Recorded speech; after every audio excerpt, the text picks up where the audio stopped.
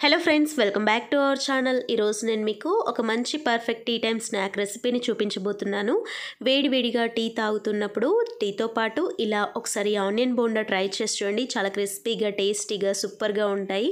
అలాగే బయట వర్షం పడుతూ ఉన్నప్పుడు వేడివేడిగా ఇటువంటి ఆనియన్ బోండా చేసుకొని తింటే ఆ టేస్ట్ మాత్రం అదుర్స్ అనమాట సో ఈ ఆనియన్ బోండాని ఇప్పుడు ఏ విధంగా తయారు చేయాలి ఆ ప్రాసెస్ ఏంటో చూద్దాము. ముందుగా ఒక మిక్సింగ్ బౌల్ తీసుకొని ఇందులోకి సన్నగా కట్ చేసిన ఉల్లిపాయ ముక్కలు వేసుకోవాలి. ఇక నేను మూడు పెద్ద సైజు ఆనియన్స్ని ఇలా చాలా సన్నగా కట్ చేసి తీసుకున్నాను.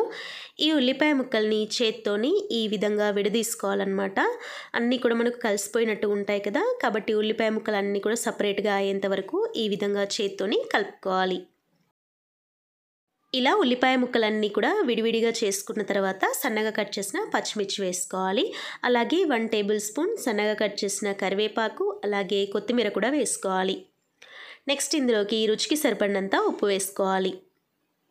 ఆ తర్వాత ఒక అర చెంచా కారం కూడా వేసుకోండి. నెక్స్ట్ ఇందులోకి ఒక పావు చెంచా పసుపు కూడా వేసుకోవాలి. తర్వాత ఇందులోకి అర చెంచా జీలకర్ర వేసుకోవాలి. ఆ తర్వాత చిటికెడంతా వంట సోడా అంటే బేకింగ్ సోడా వేసుకోవాలి. సోడా వద్దు అనుకుంటే స్కిప్ చేసేయచ్చు. ఇప్పుడు దీన్నంతా కూడా బాగా కలుపుకోవాలి. ఇలా కలుపుకున్న తర్వాత ఇందులోకి ఒక కప్పు శనగపిండి వేసుకోవాలి. ఇక నేను టూ ఫిఫ్టీ ఎంఎల్ కప్తో తీసుకున్నాను. ఒక కప్పు శనగపిండి తీసుకుంటే అరకప్పు బియ్యపిండి కూడా వేసుకోవాలి. బియ్యపిండి వేసుకోవడం వల్ల మనకు ఈ ఆనియన్ బోండా మంచి క్రిస్పీగా వస్తుంది. ఇక్కడ మూడు పెద్ద సైజ్ ఆనియన్స్ తీసుకుంటే మనం ఒక కప్పు శనగపిండి అలాగే అరకప్పు బియ్యపిండి క్వాంటిటీ తీసుకోవాలన్నమాట. ఇలా శనగపిండి బియ్యపిండి వేసుకున్న తర్వాత నీళ్ళేమీ యాడ్ చేయకూడదు. ఈ విధంగా బాగా కలుపుకోవాలి. ఇలా పిండి అంతా కలిసేటట్టు కలుపుకున్న తర్వాత కొద్ది కొద్దిగా వాటర్ యాడ్ చేసుకుంటూ పిండిని కలుపుకోవాలి. మరీ ఎక్కువగా వాటర్ యాడ్ చేస్తే లూజ్గా అయిపోతుంది. సో మనకి రౌండ్ బాల్ లాగా చేయడానికి వీలయ్యేటట్టు ఈ పిండిని కలుపుకోవాలి. ఇలా పిండిని కలుపుకున్న తర్వాత చేతికి కొంచెం నూనె అప్లై చేసుకొని రౌండ్ బాల్ లాగా చుట్టుకోవాలి. మరీ గట్టిగా ప్రెస్ చేయకూడదు. గట్టిగా ప్రెస్ చేసినట్లయితే మనకు లోపల ఆనియన్స్ సరిగ్గా ఫ్రై అవ్వవు. కాబట్టి లైట్గా ఈ విధంగా రౌండ్ బాల్ లాగా చేసేసుకోవాలి.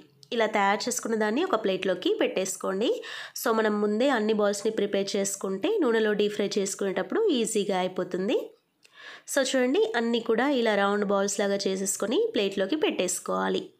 ఇప్పుడు వీటిని డీప్ ఫ్రై చేసుకుందాము. తర్వాత స్టవ్ పైన డీప్ ఫ్రైకి సరిపడినంత నూనె పెట్టి బాగా వేడి చేసుకోండి. నూనె వేడెక్కిన తర్వాత మంటని మీడియం ఫ్లేమ్లోకి అడ్జస్ట్ చేసుకొని తయారు చేసుకున్న బాల్స్ అన్నీ ఒక్కొక్కటిగా ఆయిల్లోకి వేసుకోవాలి. సో ఇలా ఆయిల్లోకి వేసిన వెంటనే కదిలించకూడదు. కాస్త ఫ్రై అయిన తర్వాత రెండో వైపుకి టర్న్ చేసుకోవాలి. మీడియం ఫ్లేమ్లో పెట్టుకొని మాత్రమే వేయించుకోవాలి. చూడండి ఆనియన్ బోండా వేగిపోయాయి. ఇప్పుడు వీటిని ఆయిల్ నుంచి తీసి టిష్యూ ఉన్న ప్లేట్లోకి వేసేసుకుందాము. ఇవి ఆయిల్ ఎక్కువగా పీల్చవండి. సో ఇదే ప్రాసెస్లో మిగిలిపోయిన బోండా అన్నీ కూడా ప్రిపేర్ చేసుకోవాలి. సో ఫ్రెండ్స్ చూడండి మనకి ఆనియన్ బోండా రెడీ అయిపోయాయి. వేడివేడిగా టీతో పాటు ఆనియన్ బోండా కూడా సర్వ్ చేసుకుంటే చాలా క్రిస్పీగా టేస్టీగా సూపర్గా ఉంటాయి. మీరు తప్పకుండా ట్రై చేయండి. ఇప్పుడు ఈవినింగ్ పూట రోజు వర్షం పడుతుంది కాబట్టి వేడివేడిగా టీతో పాటు ఈ ఆనియన్ బోండాని కూడా ట్రై చేయండి. పిల్లలు స్నాక్స్ కావాలి అని అడిగిన వెంటనే చాలా తక్కువ టైంలో వీటిని ప్రిపేర్ చేసుకోవచ్చు. ఈ రెసిపీని మీరు ట్రై చేసి ఎలా కుదిరిందో కామెంట్ సెక్షన్లతో షేర్ చేయండి. అలాగే ఈ వీడియో కనుక నచ్చినట్లయితే లైక్ చేయండి షేర్ చేయండి. ఇంకా ఎవరైనా మన ఛానల్ని కొత్తగా చూస్తుంటే ఛానల్ని సబ్స్క్రైబ్ చేసుకోండి. Thanks for watching